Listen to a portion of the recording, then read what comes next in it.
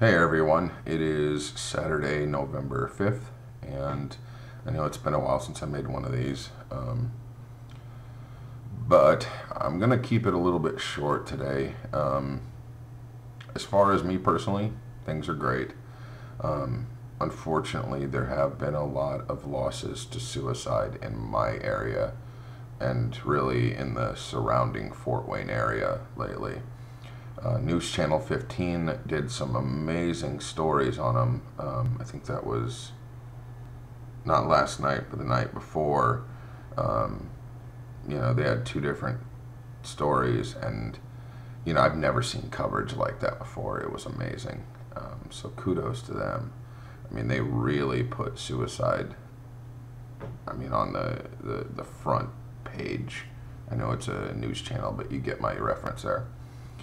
Um, but the only other thing I wanted to talk about was a lot of times during grief, and this can vary as far as time frame for for everybody.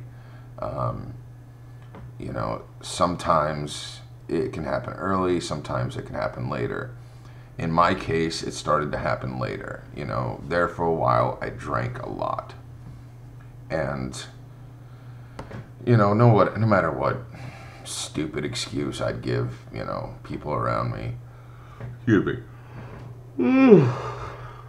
Ugh. Um,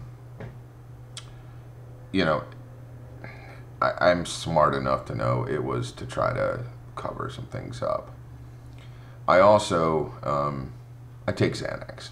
I'm not afraid to admit that. You know, there's a whole other stigma when it comes to uh, drugs like that. But, you know, I have realized it's something that's been in my head for a couple months, but especially these past couple weeks, that while I think I need something, you know, and Xanax works great for me, I don't know. I think I'm using it as a crutch you know i'm i'm taking it sometimes too much sometimes not enough you know i don't regulate it like i should and you know that's something that i need to work on. And so i guess my message to you guys is is that you know some crutches can be good along the way. They can help you kind of get through. Obviously i'm not advocating you know prescription drugs or you know for god's sake alcohol.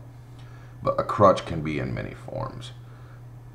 So just, you know, hopefully you have people around you that are smart enough to notice it, and hopefully you are smart enough to notice when that thing that's giving you relief or helping you get through becomes a crutch because it can happen without you even knowing.